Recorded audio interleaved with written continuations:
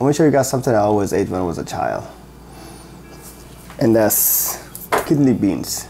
This dish is very simple. You can always actually make your own fresh kidney beans, but whenever you have cans, it's very fast and straightforward. Now, you're gonna need a couple of fresh ingredients to make this work. Onions, tomatoes, and pretzels. You're also gonna need some tomato paste to give it a nice red color to it. And then whatever spices your heart content. Paprika, black pepper, and salt. This is the primary ones, which is black pepper and salt, but I'm adding paprika to it. I'm gonna add one jalapeno to spice it up a bit more.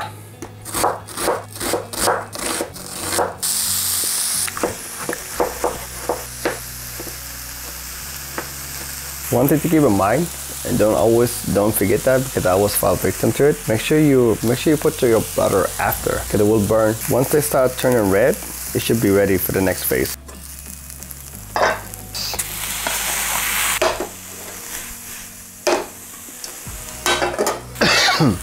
should be enough.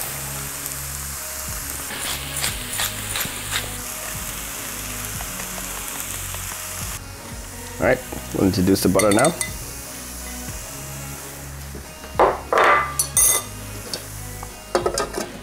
Now, you can add the jalapenos early, but it won't be as spicy anymore, but you gotta have that nice crunch to it.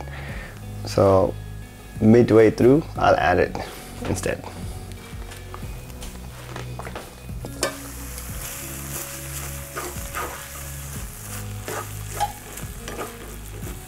All right.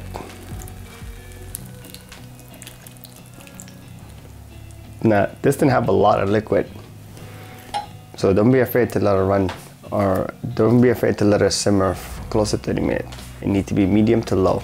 Add paprika, more black pepper,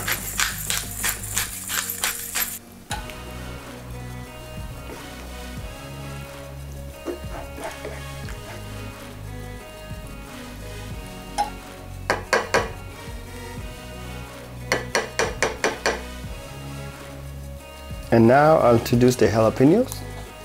And the whole entire dish should be very spicy, but not over spicy to the point you won't be able to eat it. But to each his own when it comes to spices. All right, the dish is ready. One last thing to make this final. You're gonna need to get yourself some good old olive oil. Now, traditionally, Middle Easterns serve it with pita bread. Here in America, we tend to just eat it with regular bread. I won't be able to train long enough for me to burn all those calories. Use bread, but you can also use a spoon.